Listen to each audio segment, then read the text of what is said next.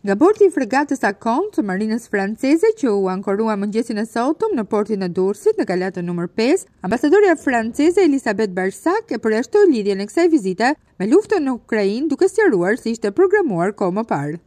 Il est bien évident qu'on peut pas faire complètement abstraction de de la guerre en Ukraine, mais c'est Në fakt është e pamundur të evitohet çështja e luftës në Ukrainë, por kjo vizitë nuk ka fare, nuk ka nuk duhet lidhur me luftën ose me konfliktin në në Ukrainë.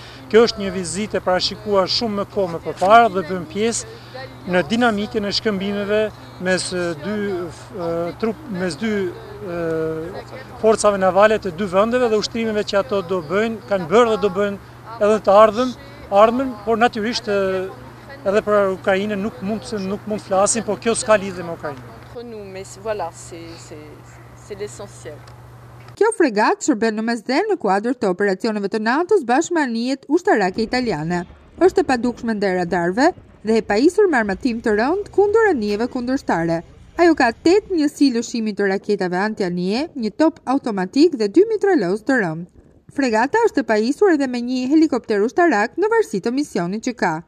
Ndërkaq, është duke u përdorur tani edhe nga Arabia Saudite, Tajvani dhe Singapori, Përveç Francës, ajo ka një pavarësi prej katër mijë miljesh detare dhe mund të mbajë rezerva deri në pesëdhjetë ditë lundrimi në det dhe oqean. Fregata është e pajisur me katër motorë të fuqishëm diesel dhe ka një staf prej rreth tetëdhjetë personash, ndërmjet të cilëve dymbëdhjetë janë oficerë dhe drejtues.